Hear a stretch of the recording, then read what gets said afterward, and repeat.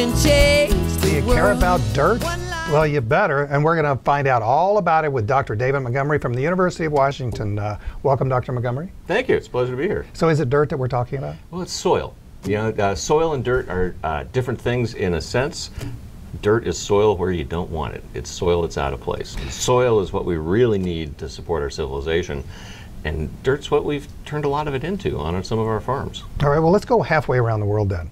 How many bombs does it take for Syria to be so desolate? Is that what caused their economic and e- uh, ecological problems? No, the roots go long before bombs were even invented. They go back to the loss of the soil in the Roman era, actually, across much of the Middle East and North Africa. It was degradation and erosion of their topsoil that really made those regions the kind of desolate areas that we see and know today. Uh, you, we can kind of think of the Garden of Eden as being part of sort of the lower Mesopotamia. And we don't see that today in what we see there. It's a, desolate region. And this is a long term legacy of soil degradation and losing the fertil- fertility and productive capacity of their land. You've just uh, recently released your third book now. It's uh, Growing a Revolution. And you're talking about how important understanding soil fertility is in just our everyday lives. You know, the, the global problem of soil degradation is one of the big underappreciated environmental crises that humanity faces today. And it filters right down to, you know, what's in what we eat, because the connections between how farmers actually practice agriculture on the land not only affect the ability of soil to feed people in the future, the problem that Syria ran into long ago, but it also impacts the quality of the food that we're eating today and our ability, and will affect the ability to feed the future as well. But that's in part because of a growing population, and if we keep degrading our farmland, those two curves are going to interact and a pretty bad way at some point. Now, uh, you are a, a, uh, PhD geologist, right? Yeah, I got into thinking about soil from from the, the bottom side of it, from how you turn rocks into soil. Yeah. Um, and so I'm, I'm, technically a geomorphologist, which is a fancy way of saying a topographer, someone who studies physical geography, what shapes the surface of the earth. And if you think about what's been doing that for the last 10,000 years, since the dawn of agriculture, people have really started to take the front seat in how we're changing the surface of the world. And the thesis of my first book, Dirt, was mm-hmm. really that that's affected the course and fate and longevity of human societies. Dirt, The Erosion of Civilizations. You're also co author on a second book about the hidden half of nature, and then this one, of course, is Growing a Revolution. Yeah, so, what is, is, the current state of, uh, of soil uh, across the world and in the United States? Well, if you, if you look at the world sort of as a whole, and you look at how much of the world's topsoil and our, our, our ability to actually feed ourselves through the use of the land, we've lost somewhere between a third and a half of the topsoil that we had at the close of the Ice Age.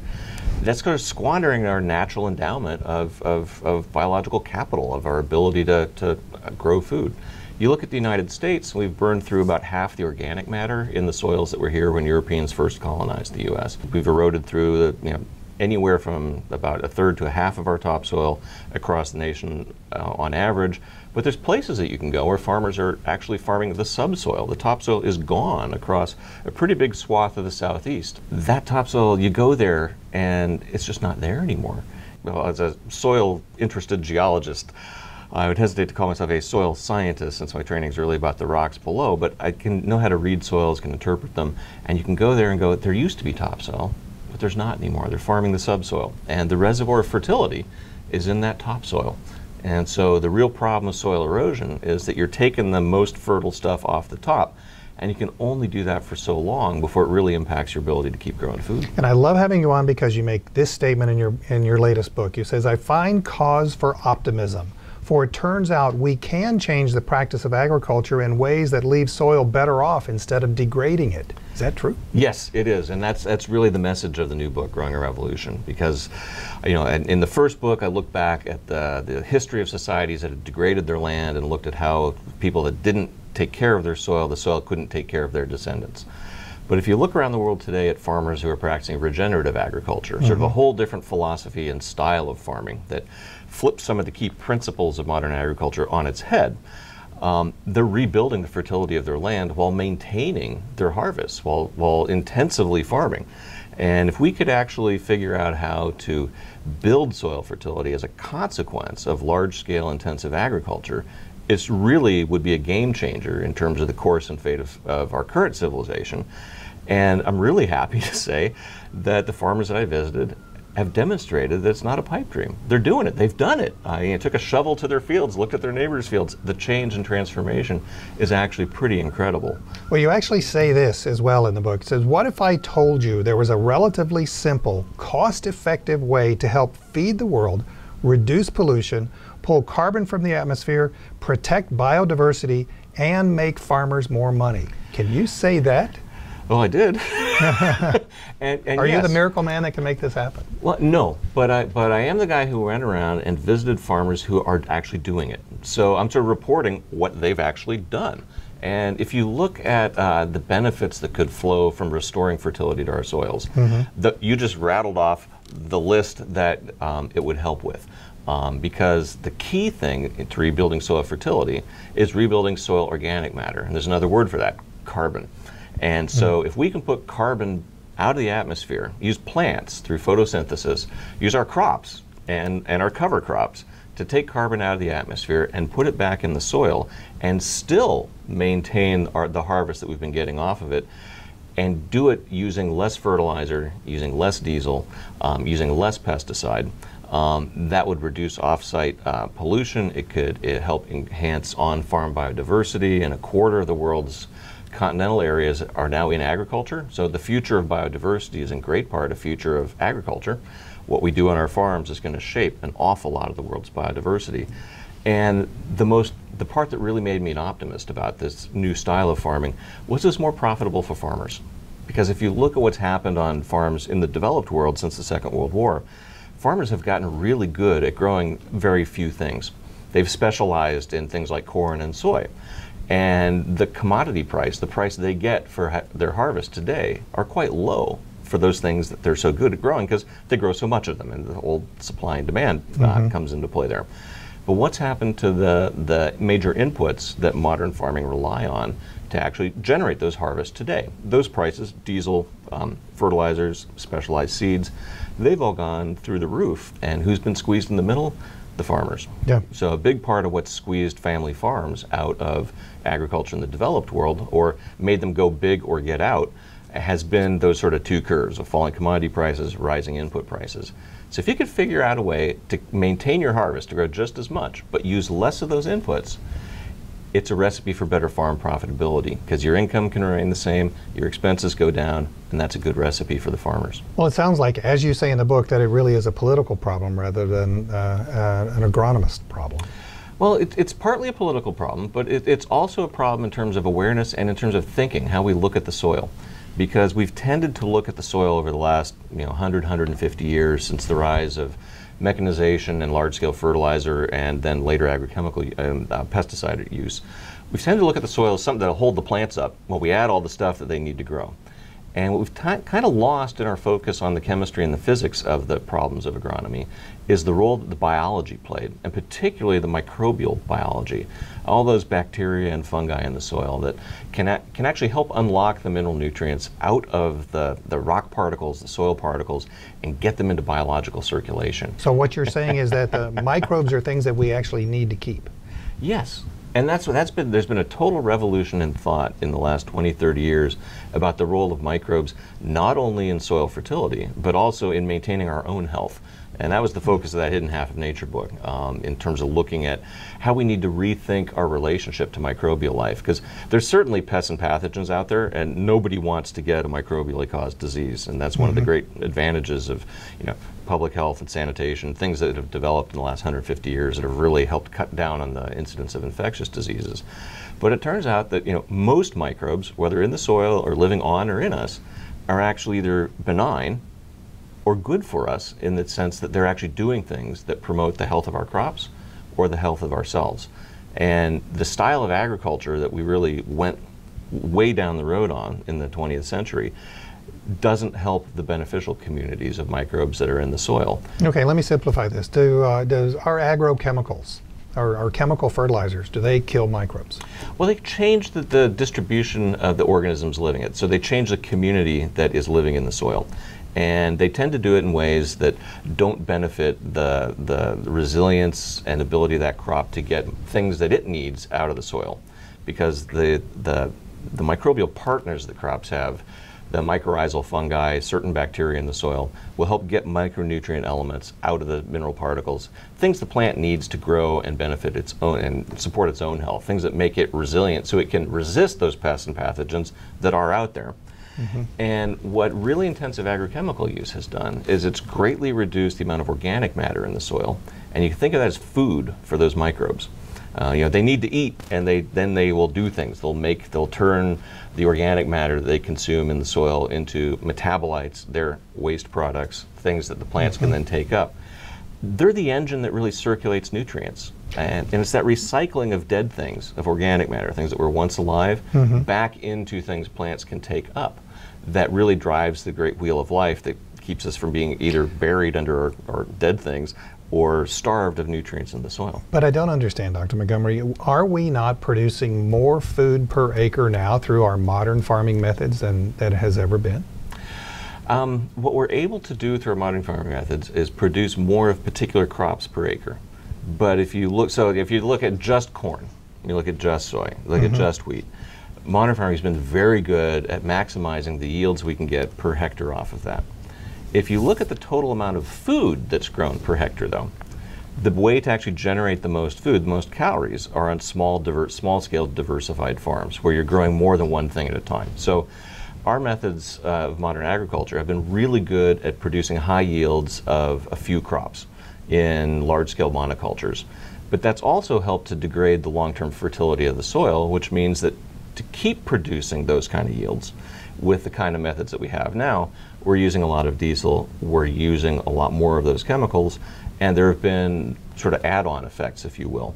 And what so I was really excited about with farmers around the world that I visited that were practicing this new regenerative agriculture mm-hmm. is they were able to maintain their yields while using far less of those chemical inputs.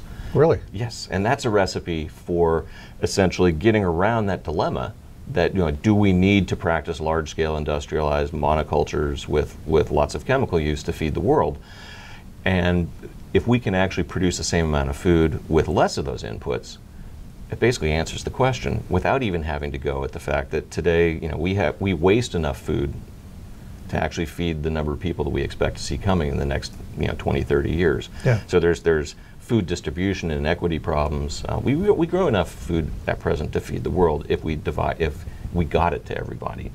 But not all of the food that's grown actually gets eaten by somebody. Something like yeah. a third of it is wasted. But agriculture is more, uh, a lot more than just about food. Agriculture is about money. Oh yeah.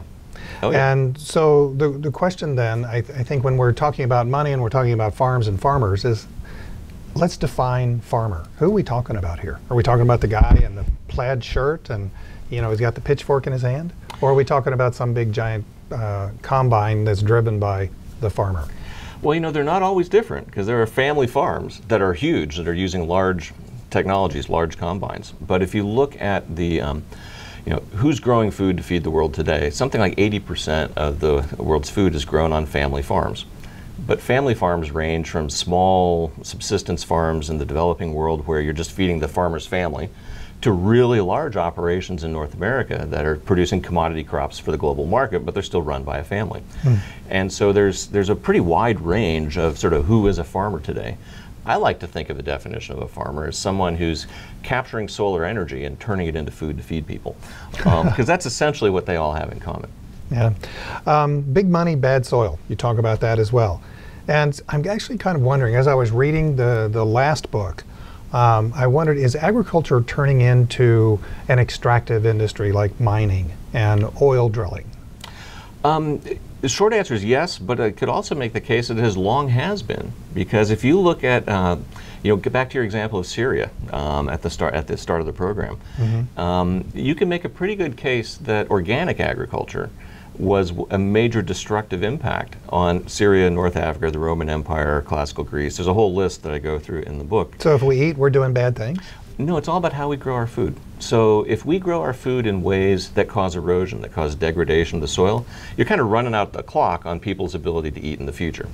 And what I was uh, really fascinated by with these farmers today that are practicing regenerative um, agriculture is they've figured out a recipe to actually get around the problem of soil erosion and get around the problem of soil degradation and just completely turn the historical pattern of mining fertility that modern conventional agriculture is still engaging in. They figured a way to turn that around and build fertility as a consequence of intensive farming. So and what you're talking about is is building up the quality of the soil at the same time that they're growing more food. Exactly. Exactly. What did you find? Who's who is being successful at this? Well, you know, there's people in various places around the world who are being quite successful at this. And I, I went and started on a six month trip to go visit farmers in different parts of the world to actually uh, investigate. Because, you know, as a geologist, I'm not the right person to basically tell a farmer how to farm on their piece of land. They know their land better than I do. Uh, they know uh, far more about what they're trying to do. So I went to farmers who had been successful at restoring fertility to their land and rebuilding the fertility of their soil. And you know, I started off going to some large farms in South Dakota where they had um, gone to no-till farming, um, which is a farming where you're not using a plow. And the basic villain in the long history of agriculture in terms of soil degradation has mostly been the plow. And really? Yeah. So how do you turn the soil though? Yeah, well, you don't. You don't. you don't. You have to think differently about it. You okay. change, and this is where this sort of um, you know a revolution in thought about the soil uh, underlies these new agricultural practices that can get us out of this this ancient dilemma of the more food we grow, the less people in the future will be able to eat. Um, you know, that's just something we absolutely have to solve as mm-hmm. a global society. What, what the the recipe that essentially this the farmers from large farms in South Dakota to subsistence farmers in Africa that I visited, the common elements were don't disturb the soil. So stop plowing, ditch the plow Hmm. Cover up, grow cover crops so you don't leave the ground surface cover uh, uh, vulnerable to wind or rain that could remove the soil faster than it can mm-hmm. be rebuilt. Cover crops, what do you mean by that? Uh, it basically a always keep the ground covered. So if you think about the image of a freshly plowed field, there's nothing green on it. You know, you've no, turned you've turned the soil over. Right. You've got dirt all over the surface. Yeah, you know, bare soil everywhere. Um, under no-till farming, you don't um, disturb the soil to that extent, but you also want to keep the ground covered with something green, something living, a living plant. And so a cover crop is a crop that you would grow in between the crops you're growing to sell. Um, and it could grow either in between in space, sort of in between, say, your rows of corn, or between the harvest. So after you grow corn, you plant some other crop uh, before your next harvest. You just don't leave the field uh, uncovered. Keep something green on it at all times, a living plant. So let's let's say that you you've got um, six acres, you know, small small farm. Uh, but for six acres, you could not only feed your family, but you could probably sell a little bit too. On two acres of it, you've got crop A that's going to make you money. On two more acres, you've got crop B that might make you money, and two more acres where you've got a cover crop on it. Is that crop diversity? Is that what we're talking well, that, about? That's one way to do it. Um, one way to do it is in the same field have multiple crops, and this is what the subsistence farmers in Africa that I visited were doing. They would have up to six or eight crops in the same field at the same time. Really? So you know, one would be low on the ground, one would be a little higher, and then at the top they'd have plantains growing as sort of a, a, a canopy crop. And so if the soil's good enough, it can support three crops at the same time? Oh yeah, and, and the trick is, is to actually be building enough organic matter in the soil. So you're not exporting all the vegetable matter off of the field. So many cover crops will essentially be, in the parlance of agronomy, terminated or killed and left to rot on site. And in, in the developed world, a lot of farmers do that with herbicides. Some do it with, um, uh, with something called a crop roller, where you basically crush the crop in place and turn it into a mulch. So a cover crop is not for export off the fields. It's for building up the organic matter in the fields. And if you think about it as essentially a biological pump where you're basically using the roots of those plants to get mineral elements out of the soil, bring them up from the subsoil into the topsoil, then you kill that plant, let it rot.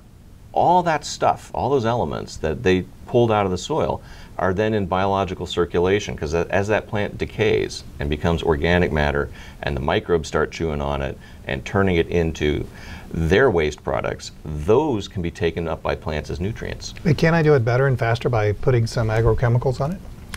Um, you could do it faster. I'm not sure you could do it uh, better um, in the sense of how do you define better? And in, in my sort of view as a geologist, better means you can keep doing it for a long time And what we've found with the use of a lot of chemical fertilizers is that you can get a, um, a burst of fertility out of the ground because it will they will actually use a lot of nitrogen on the field, for example. It will stimulate the microbial activity to break down that organic matter and get those nutrients into the plants now. But you've drawn down the bank account. You've drawn down the reservoir to keep dribbling out and feed over subsequent years. So what I think the real key is is you've got to be able to use the biology that's in the ground to get more of those uh, mineral elements out of the soil particles and into circulation. How about chemical pesticides? I mean, if I've got bugs eating my plants and I'm a farmer and I, I got to get rid of those bugs, so I'm going to spray them with something, glyphosate or something.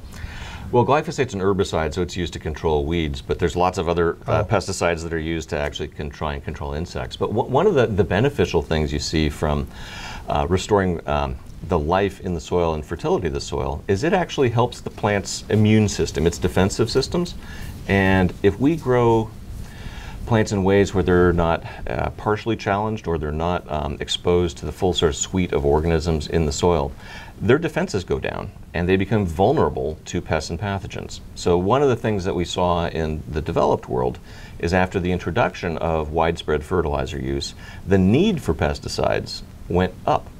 And one of the first persons to recognize sort of the, the inverse piece of that was a guy named Sir Albert Howard, who was uh, an imperial economic botany, botanist for uh, England and in India in the early 20th century. And he went there to try and help um, the plantation owners there figure out how to combat pests and pathogens. And what he observed early on was that the native farmers didn't really have pest problems and pathogen problems. They were growing food on really fertile soil because they had very intensive composting. They were returning organic matter to their land. And Essentially, they were feeding their soil and feeding their microbial life with, with a lot of compost. And they didn't have the same problems that the farmers that he was tasked with trying to help had.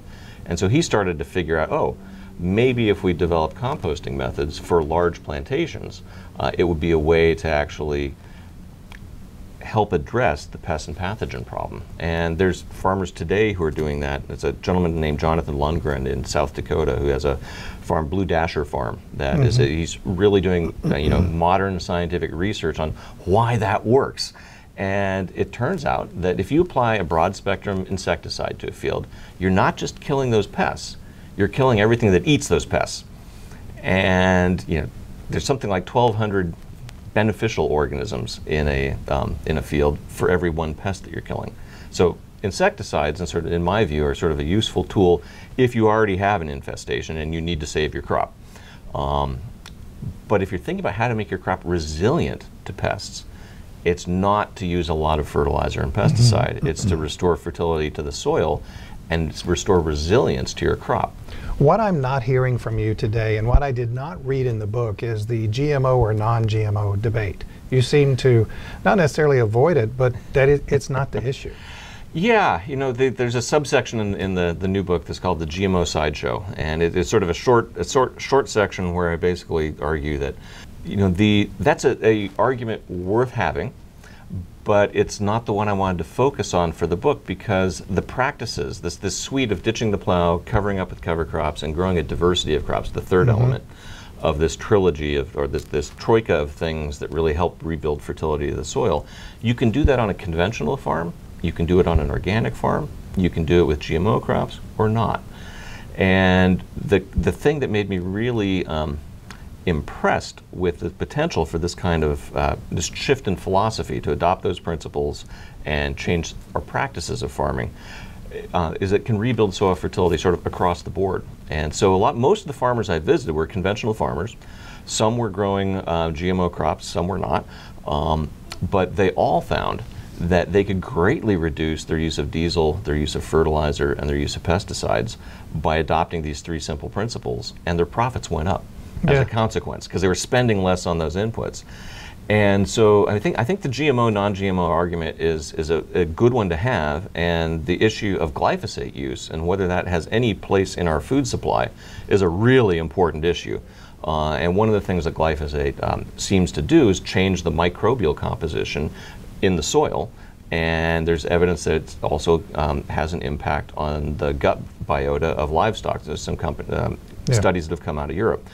Um, but that's a whole different issue. You actually had just kind of touched on it, though the quick recipe for a healthy soil uh, organic matter, manure, and other plants, uh, cover crops, and a diverse cropping system.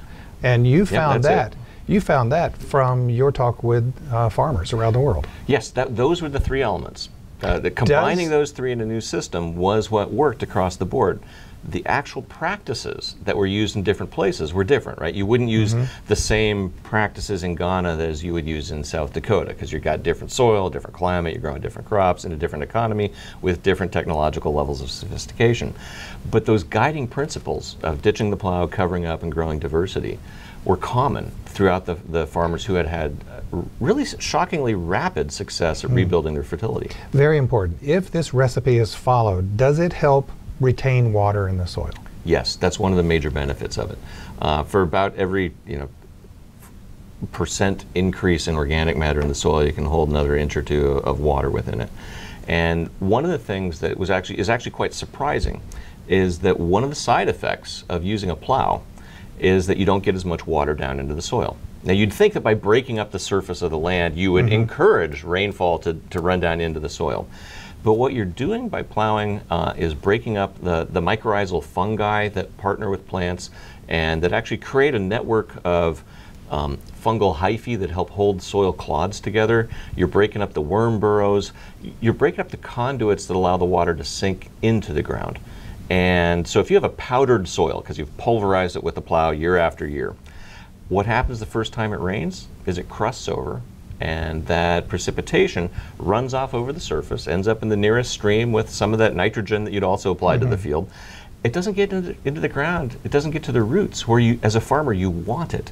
Wow. And so um, it's actually a recipe for drought resilience, which has one of, been one of the, the attractive facets of this new style of farming that goes under the sort of label of conservation agriculture.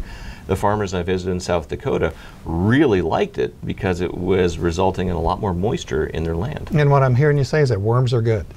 Oh, worms are great. I mean, there's places where they're an invasive species, but you know, in the general sense, worms are good. And even Charles Darwin even wrote a whole book about how, why worms help build soil. And as we come to a close in the show, I got to close with this quote out of the book. The most promising way forward lies in the marriage of agrotechnology and agroecology to rebuild soil fertility.